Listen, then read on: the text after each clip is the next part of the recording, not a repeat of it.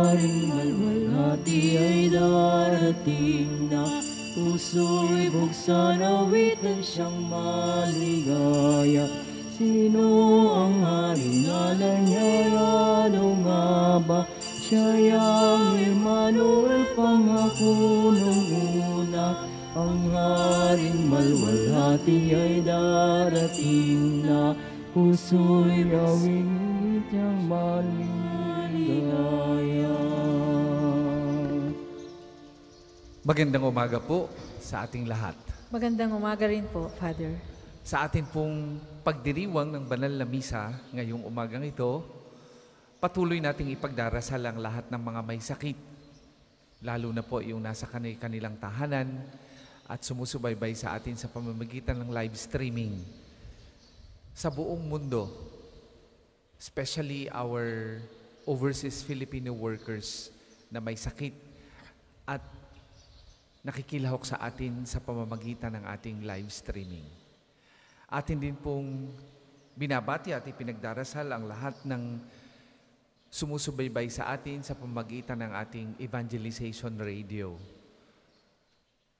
Nawa, sa pamamagitan ni Santo Padre Pio, yung ating mga kapatid na may sakit ay kamtin ang kanilang hinihiling na kagalingan kasama ng ating pagdarasal sa lahat ng inyong mga intensyon, intensyon ng mga nagpamisa ngayong umagang ito, kasama na rin po nating ipinagdarasal si Father Anthony Esteron na nagdiriwang ng kanyang sacerdotal anniversary at Father Johannes Arada na nagdiriwang ng kanyang kaarawan, mga pari ng Archdiocese ng Lipa.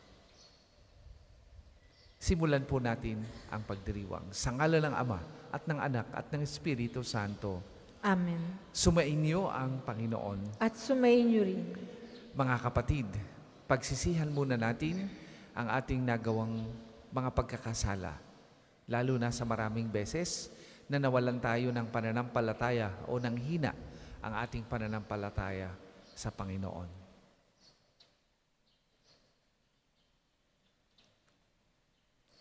Sabay-sabay nating dasalin, inaamin ko Sa makapangyarihang Diyos at, At sa inyo mga kapatid, na lubha akong nagkasala sa isip, sa salita at sa gawa, at sa aking pagkukulang. Kaya isinasamo ko sa mahal na Birheng Maria, sa lahat ng mga anghel at mga banal, at sa inyo mga kapatid, na ako'y panalangin sa Panginoong ating Diyos. Kaawaan tayo ng makapangyarihang Diyos, patawarin tayo sa ating mga kasalanan at patnubayan tayo sa buhay na walang hanggan. Amen. Panginoon, kaawaan mo kami. Panginoon,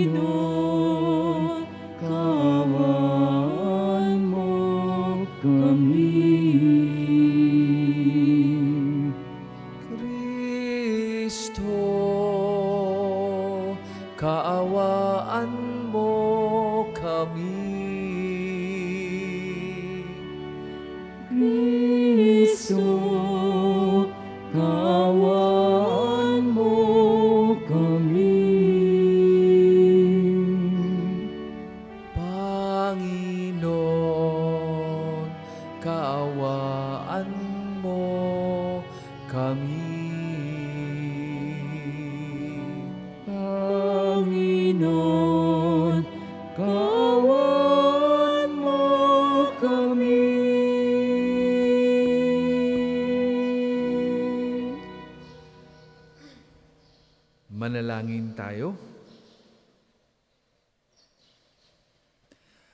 Ama naming makapangyarihan, gawin mo kami gawin mong kami maging masigasig sa paghihintay sa anak mong darating.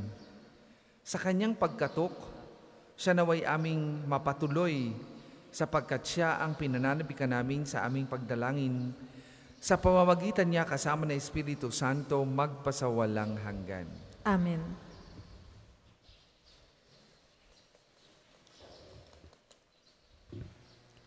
Pagbasa mula sa aklat ni Propeta Isaías.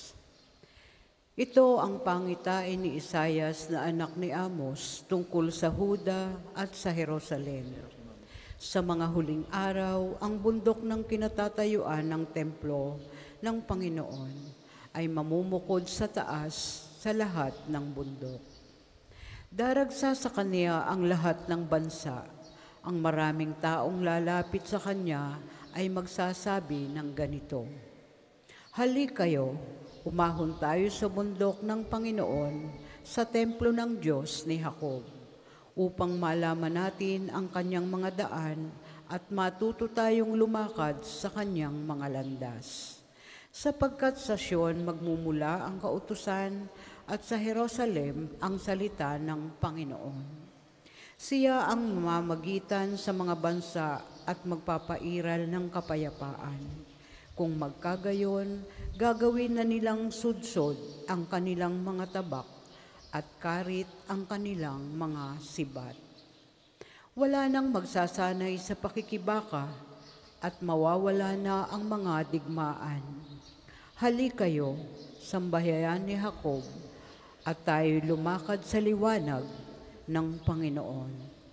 Ang salita ng Diyos. Salamat sa Diyos. Salmong tugunan, masaya tayong papasok sa tahanan ng poong Diyos. Masaya tayong papasok sa tahanan ng poong Diyos. Ako ay nagalak sa sabing ganito, sa bahay ng poon ay pumasok tayo. Sama-sama kami matapos sapitin ang pintuang lungsod nitong Jerusalem. Masaya tayong papasok sa tahanan ng poong Diyos. Yaong Jerusalem kay ganda ng anyo, maganda ang ayos ng muling matayo. Dito umaahon ang lahat ng angkan, lipi na Israel upang magsambahan. Masaya tayong papasok sa tahanan ng poong Diyos. Ang hangad, ang poon ay pasalamatan, pagkat ito'y utos na dapat gampanan. Doon din naroon ang mga hukuman at trono ng haring hahatol sa tanan. Masaya tayong papasok sa tahanan ng poong Diyos. Ang kapayapaan nitong Jerusalem, sikaping ang poon niyaoy idalangin. Ang nangagmamahal sa iyo'y pagpalain, pumayapa nawa ang banal na bayan, at ang palasyo mo ay maging tiwasay. Masaya tayong papasok sa tahanan ng poong Diyos. Dahilan sa aking kasama't katuto, sa iyo, Jerusalem, ang sabi ko'y ito. Ang kapayapa ay laging sumainyo, dahilan sa templo ng poon, ating Diyos, ang aking dalangi, umunlad kang lubos. Masaya tayong papasok sa tahanan ng buong Diyos. Magsitayo po ang lahat.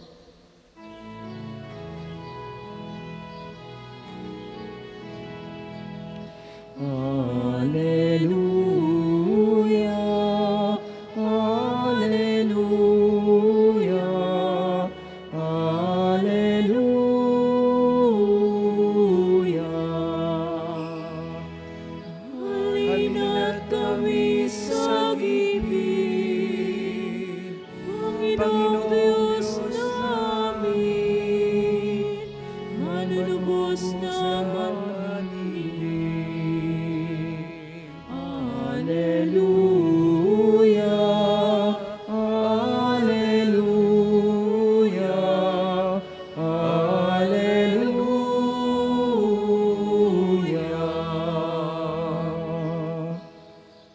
Sumainyo ang Panginoon. At sumainyo rin. Ang mabuting balita ng Panginoon ayon kay San Mateo.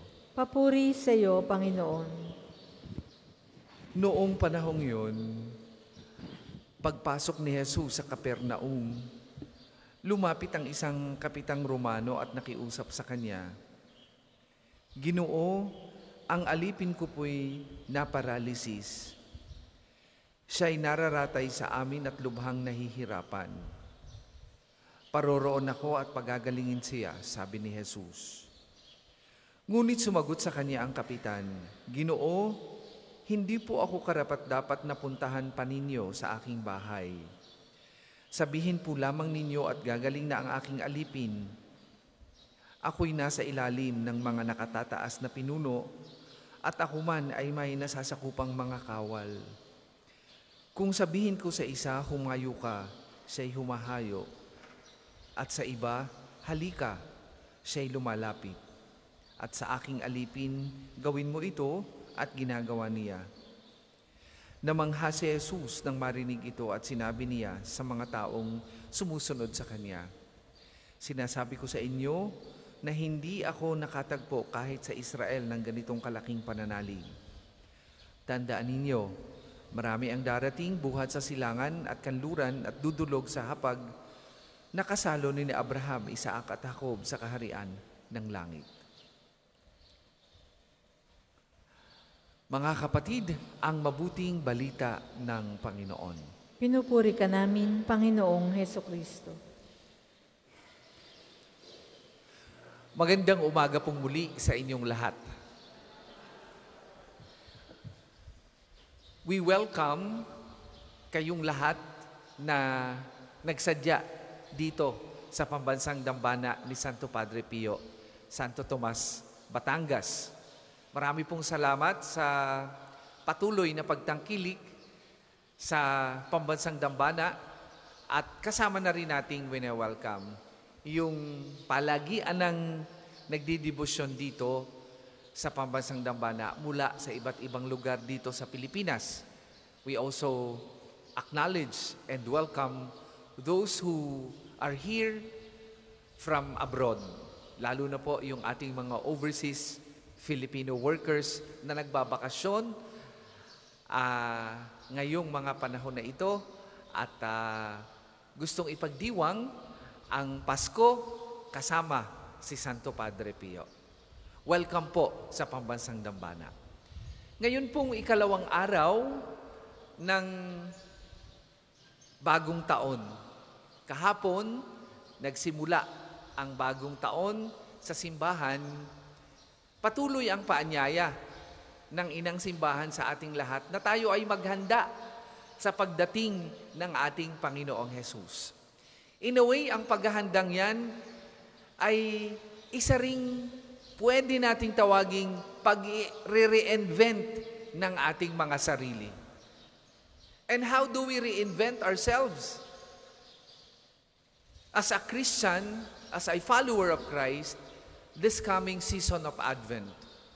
Ang una, kung papaano natin gagawin yung reinvention na yan, kung sakali na tayo ay malayo pa or malayo na, pero malayo pa sa pagpapakabanal na kung saan tayo inaanyayahang lahat is this.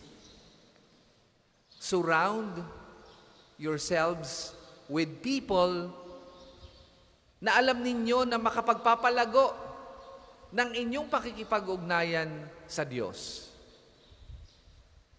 We are, sabi ng isang author, we are what we surround ourselves with.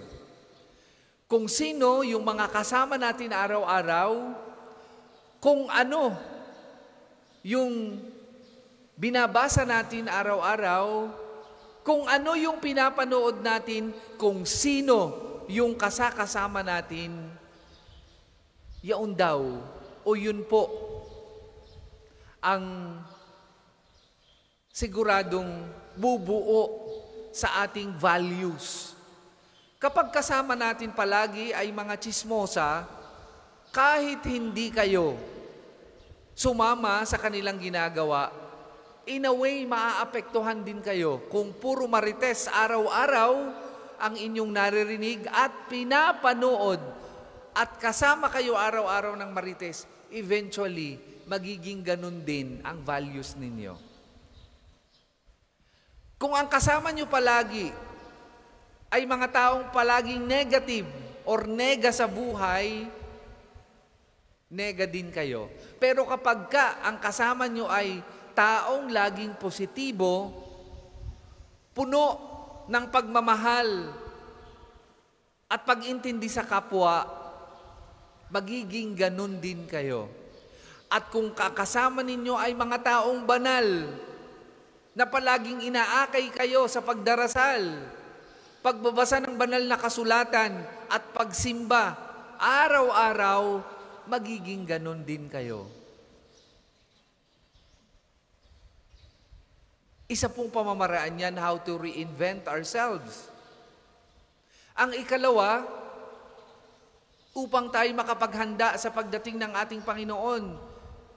As a way of reinvention, ay tulungan ng ating sarili na lumakas ang ating pananampalataya. Bakit mahalaga na malakas ang ating pananampalataya? Sapagkat ito ang kailangan natin upang kamtin ang biyaya ng pagsama ni Kristo sa ating buhay. Narinig natin na pinuri ng ating Panginoong Hesus ang isang senturyon na napakalaki at napakalakas ang pananampalataya sa Kanya. Bakit naging katangi-tangi ito sa ating Panginoong Hesus? Sapagkat yun ang kailangan upang kamtin ang kanyang biyaya. Yun ang napakahalagang elemento para kamtin ang pagmamahal at awa at habag ng ating Panginoong Hesus. At sa ganyang diwa, bilang naghahanda sa pagdating ng ating Panginoong Hesus sa ating buhay, inaanyayahan din tayo to reinvent ourselves by asking the Lord to increase our faith, asking the Lord to strengthen us and increase our hope in Him. Lalo na sa mga panahon at pagkakataon na tayo ay nanghihina ang pananampalataya dahil sa mga pagsubok na pinagdadaanan natin sa buhay. Ang dalawang yan, mga kapatid,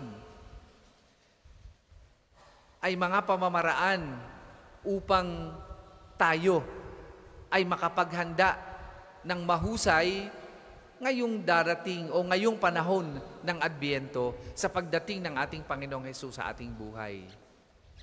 Surround ourselves with people who can bring us to Christ. Let us always remember that we are who surround ourselves with. And number two, let us ask the Lord to increase our faith, especially in times when we are so wounded, when we in times when we are so challenged to the point that nawawala o humihina ang ating pananampalataya dahil sa ating mga pagsubok na pinagdaraanan araw-araw. Tularan natin ang centurion official na dahil sa kanyang laki ng pananampalataya sa ating Panginoong Yesus ay nagkamit ng kanyang biyaya at pagpapala. Magandang pamamaraan at magandang pagdidibusyon upang kamti natin at makapaghanda tayo ng maigi sa pagdating ng ating Panginoong Hesus. Ngayong inaanyayahan tayo na maging handa sa kanyang pagdating, nawa, maging bahagi ng buhay natin ang self-reinvention by asking the Lord to increase our faith, by being committed to that desire, to that prayer of ours, and by changing our lifestyle, by changing our mga kasama or those who accompany us. And perhaps even yung environment natin upang ito'y mapalitan ng isang okasyon, isang pagkakataon kung saan lalago ang ating pananampalataya at lalago ang ating pakikipagrelasyon kay Jesus na siyang kailangan-kailangan natin bilang naghahanda ngayong panahon ng Adbyento.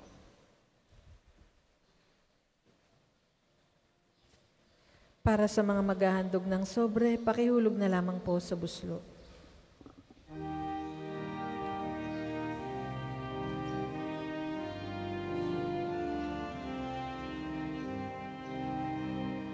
Sa pagdating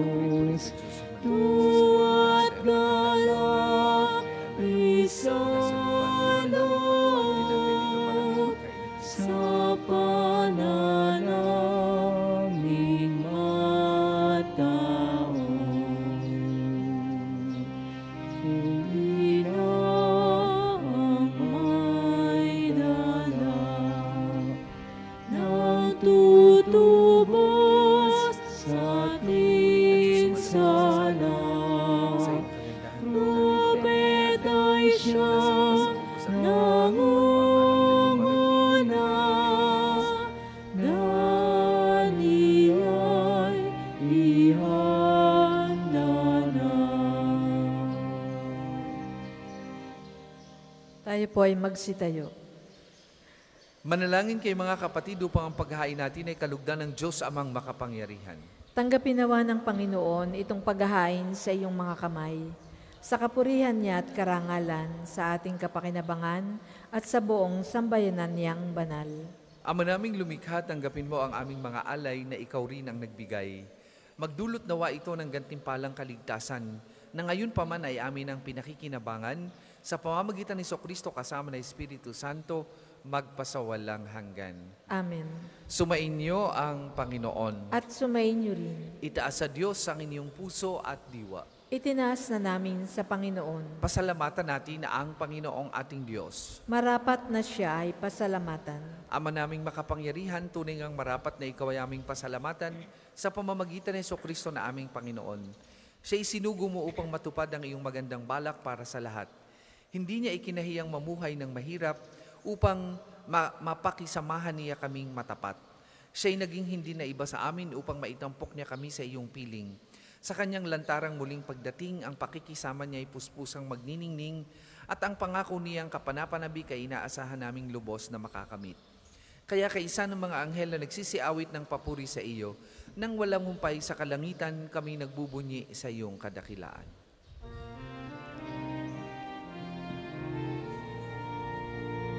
Banal ka pong may kapal, banal ang iyong pangalan, banal ang iyong kaharian. Langit lupa'y nagpupugay sa iyong kadakilan, dinarakilan ng lahat ang naparito siyang nagmulat sa bulag sa pilayay nagpalakad at nakiramay sa lahat.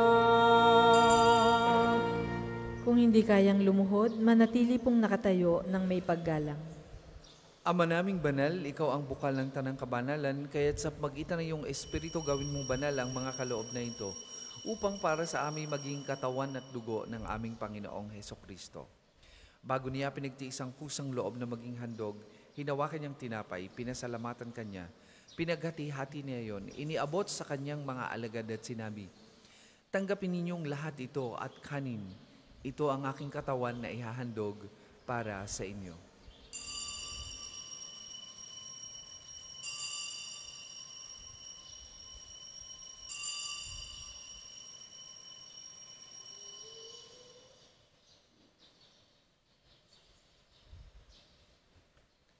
Gayun din naman, nung matapos ang hapunan, hinawakan niya ang kalis, muli kanyang pinasalamatan. Iniabot niya ang kalis sa kanyang mga alagad at sinabi, Tanggapin ninyong lahat ito at inumin. Ito ang kalis ng aking dugo, ng bagot walang hanggang tipan. Ang aking dugo na ibubuhos para sa inyo at para sa lahat. Sa kapagpapatawad ng mga kasalanan, gawin ninyo ito sa pag-alaala sa akin.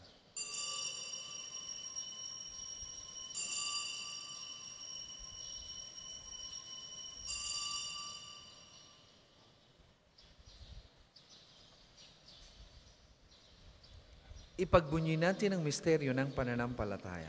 Si Kristo'y namatay, si Kristo ay nabuhay, si Kristo'y babalik sa wakas ng panahon. Ama, ginagawa namin ngayon ang pag-alaala sa pagkamatay at muling pagkabuhay ng iyong anak. Kaya tiniaalay namin sa iyong tinapay na nagbibigay buhay ang kalis na nagkakaloob ng kaligtasan. Kami nagpapasalamat dahil kami iyong minarapat na tumayo sa harap mo para maglingkod sa iyo. Sinasamo namin kami magsasalo-salo sa katawan at dugo ni Kristo ay mabuklod sa pagkakaisa sa pamamagitan ng Espiritu Santo. Amalingapin mo yung simbahang laganap sa buong daigdig. Puspusin mo kami sa pag-ibig kay San Francisco na aming Papa at ni Gilbert na aming Obispo at ng Tanang Kaparian. Alalahan mo rin ang mga kapatid naming nahimlay nang may pag-asang sila'y muling mabubuhay gayon din ang lahat ng mga pumanaw. Kawan mo sila at patuloyin sa iyong kaliwanagan. Kawan mo at pagindapating kaming lahat na makasalo sa iyong buhay na walang wakas. Kaisa ng mahal na Birheng Maria na ina ng Diyos, ni San Jose na kanyang kalinis-linisang esposo, kaisa ng mga apostol at ng lahat ng mga banal na namuhay dito sa daigdig ng kalugod-lugod sa iyo. May pagdiwang nawa namin ang pagpupuri sa ikararangal mo sa magitan ng iyong anak na aming Panginoong Heso Kristo. Sa pamamagitan ni Kristo kasama niya at sa Kanya, ang lahat ng parangal at papuri ay sa iyo. Diyos amang makapangyarihan, kasama ng Espiritu Santo, magpasawalang hanggan. Amen. Amen. Amen.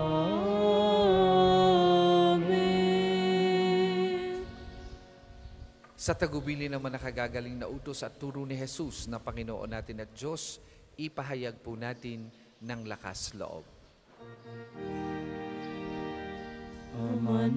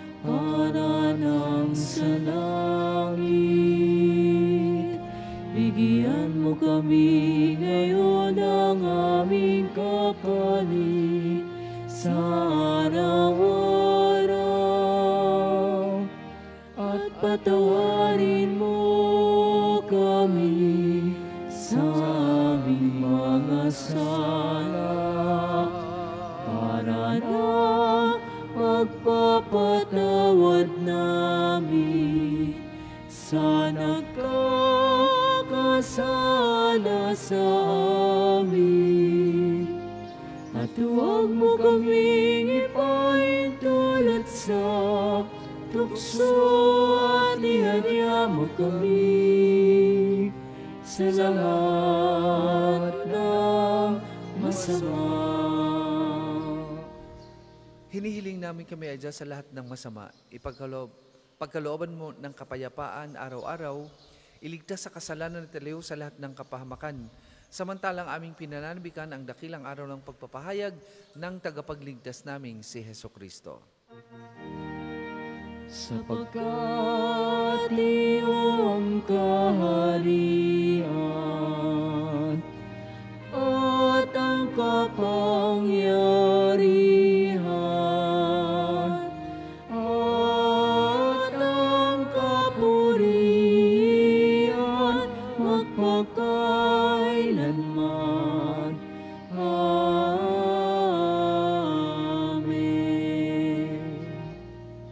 Heso Kristo, sinabi mo sa mga apostol, kapayapaan ang iniiwan ko sa inyo, ang aking kapayapaan ang ibinibigay ko sa inyo. Tunghayan mo ang aming pananampalataya at huwag ang aming mga pagkakasala. Pagkalooban mo kami ng kapayapaan at pagkakaisa ayon sa iyong kalooban, kasama ng Espiritu Santo, magpasawalang hanggan. Amen. Ang kapayapaan ng Panginoon ay lagi pong sumainyong lahat. At sumayin niyo rin. Magbigayan po kayo at maghangad ng kapayapaan sa isa't isa.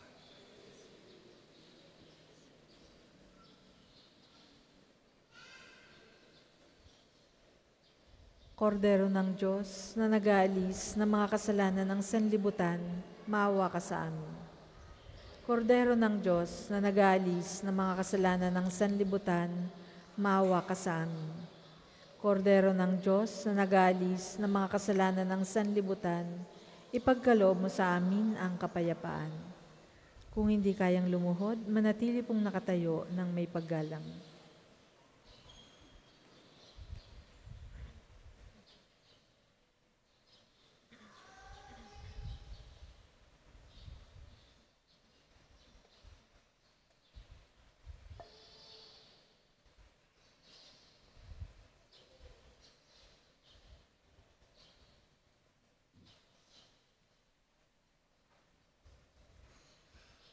Mga kapatid, ito ang kordero ng Diyos.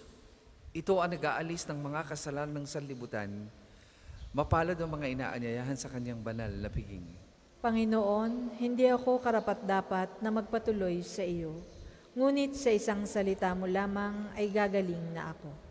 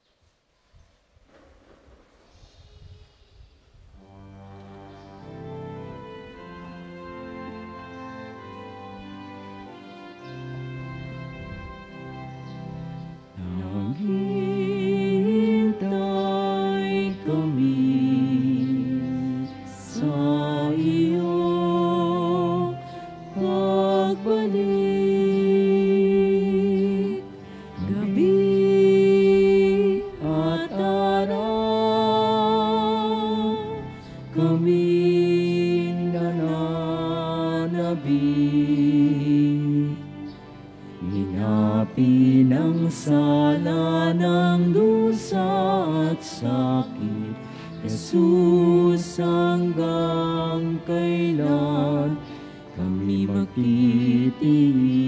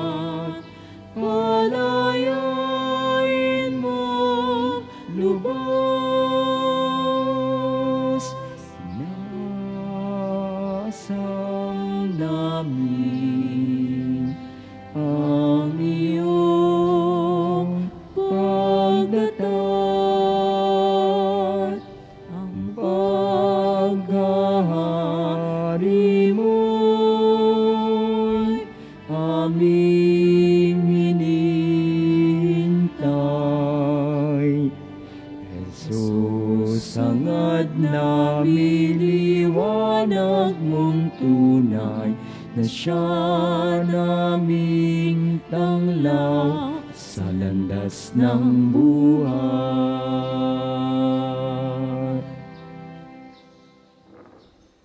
Ang isasagawa pong second collection ay ginagamit sa patuloy na pagpapaunlad ng parokya at pambansang dambana ni Santo Padre Pio. Salamat po sa inyong handog. Halina, O Jesus,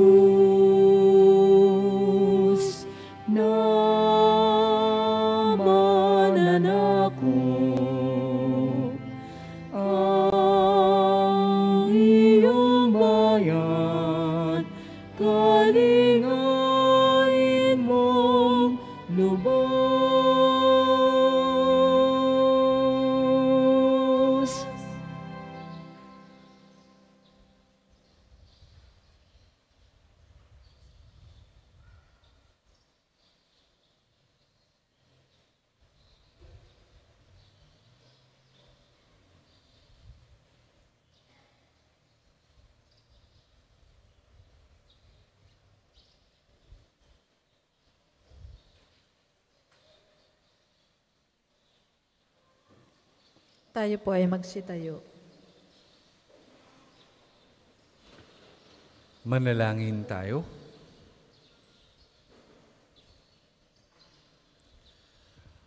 Ama naming mapagmahal, mapakinabangan nawa namin ang aming pinagsaluhan upang sa aming paglalakbay dito sa lupang ibabaw, aming mapanaligan ang iyong pagpapalang pang magpakailanman sa pamamagitan ni Kristo kasama ng Espiritu Santo magpasawalang hanggan. Amen.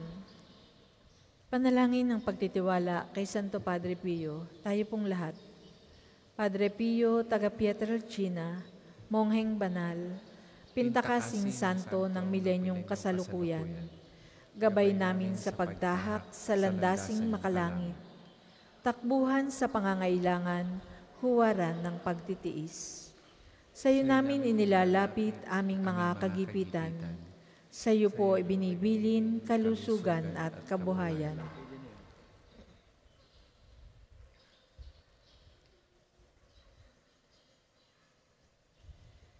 Timan karapat-dapat, kami po ay pagbigyan, bendisyonan at basbasan maging ganap sa buhay.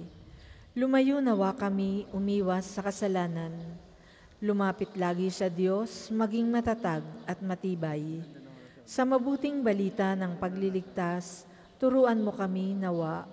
Sa tuwi na ay makinig, magnilay at sumampalataya.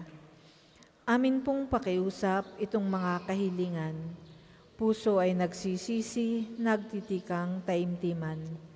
Di na muling magkasala, sunod lagi sa Diyos Amang, kaysa ng Espiritu at ni Jesus na tagapamagitan.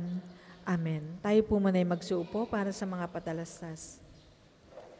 Una, sa inyong pagdalaw sa pambansang dambana, mangyaring pakaingatan ang inyong mga personal na gamit. Hangad namin ang isang matiwasay at maayos na pagbisita sa National Shrine. Ikalawa, mga kapiyo, kami po ay humihingi ng inyong kaunting oras at pakikiisa para sa pagsusulat ng inyong mga pangalan at ilang detalye sa ating Pilgrim's Information Record Book na makikita sa paligid ng Divine Mercy Sanctuary, sa main church, sa main store, at iba pang lugar dito sa pambansang Dambana. Ito po ay bilang bahagi ng documentation program para sa pagpapalawig ng datos at turismong pangsimbahan. Ang susunod pong misa ay sa ganap na ikasampu ng umaga. Maraming salamat po at mangyaring panatilihin natin ang kalinisan, katahimikan at diwa ng pananalangin sa loob at labas ng ating mga simbahan. Magsitayo na po ang lahat para sa pagbabasbas ng mga religious articles. Mga kapatid, manalangin tayo sa Diyos amang makapangyarihan upang tayo ay maging kawangis ni Kristo sa taimtim na pagdalangin sa tulong ng mga larawan at mga dasalan. O Panginoong Diyos, Ikaw ang bukal ng lahat ng pagpapala at biyaya. Ibuhos mo ang iyong bendisyon sa mga gamit na ito sa pananalangin, mga rosaryo, imahin, dasalan, nagpapalala ng iyong kabutihan, kabanalan at pagmamahal sa amin. Upang ang lahat na dumulog at magdasal gamit ang mga ito ay magtamo ng iyong awa at biyaya. Lobin mong tularan nila ang kabanalan at aral ng Panginoon at mga santo magpasawalang hanggan. Amen. Ama namin, sumasalangit ka, sambahin ang ngalan mo. Mapasa amin ang kaharian mo. Sundin ang loob mo dito sa lupa para nang sa langit. Bigyan mo kami ngayon ng aming kakanin sa araw-araw at patawarin mo kami sa aming mga sala para nang pagpapatawad namin sa nagkakasala sa amin. At huwag mo kaming ipahintulot sa tukso at iadya mo kami sa lahat ng masama. Amen. Aba, Ginoong Maria, napupuno ka ng grasya. Ang Panginoong Diyos ay sumasa iyo. Bukod kang pinagpala sa babaeng lahat, at pinagpala naman ng iyong anak na si Jesus. Santa Maria, Ina ng Diyos, ipanalangin mo kaming makasalanan, ngayon at kung kami mamamatay. Amen. Aba, Ginoong Maria, napupuno ka ng grasya. Ang Panginoong Diyos ay sumasa iyo. Bukod kang pinagpala sa babaeng lahat, at pinagpala naman ang iyong anak na si Jesus. Santa Maria, Ina ng Diyos, ipanalangin mo kaming makasalanan, ngayon at kung kami mamamatay. Amen. Aba, Ginoong Maria, napupuno ka ng grasya. Ang Panginoong Diyos ay sumasa iyo. Bukod kang pinagpala sa babaing lahat, at pinagpala naman ng iyong anak na si Jesus. Santa Maria, Ina ng Diyos, ipanalangin mo kaming makasalanan, ngayon at kung kami mamamatay. Amen. Luwalhati sa Ama, sa Anak at sa Espiritu Santo, kapara noong una, ngayon at magpasawalang hanggan. Amen. Sumainyo ang Panginoon At sumainyo rin, at pagpalain kayo ng makapangyarihang Diyos, Ama, Anak at Espiritu Santo. Amen. Tapos na po ang ating pagdiriwang, humayo kayong mapayapa. Salamat sa Diyos.